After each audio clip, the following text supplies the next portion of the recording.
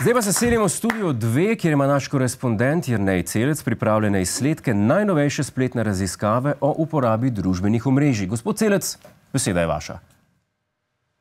Dobro večer, gospod Godler. Nova globalna študija, ki je zajela kar pol milijona anketirancev, je razkrila, da povprečen človek dnevno na družbenih omrežjih preživi kar 2 uri in 23 minut. A si predstavljate, danes človek vsak dan 2 uri in pol bulji v telefon, namesto da bi gledal televizijo. Pa kam gre ta svet?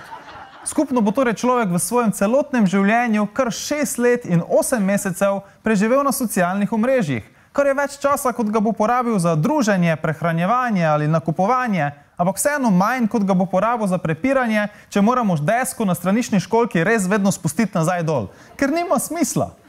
Študija je prav tako ugotovila, da največ časa na družbenih omrežjih preživijo prebivalci Filipinov, Brazilije in Nigerije.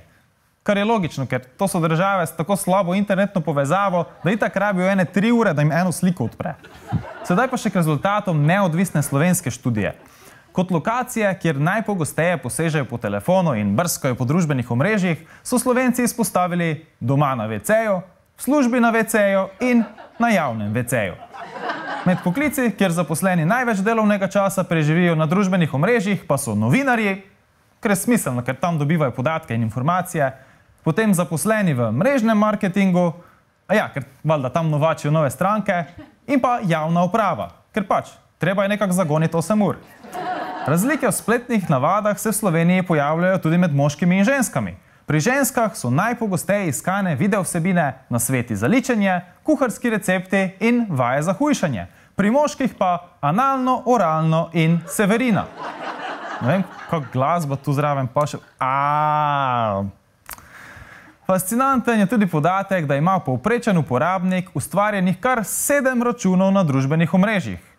Čakajte malo, jaz, jaz imam Facebook, YouTube, Instagram, Twitter, Messenger, to je pet.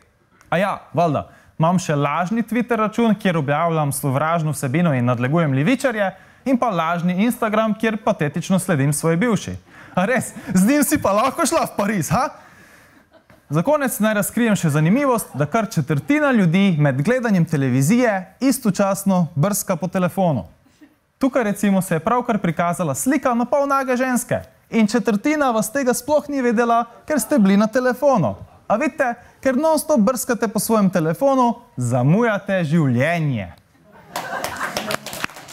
Hvala gospodu Celcu.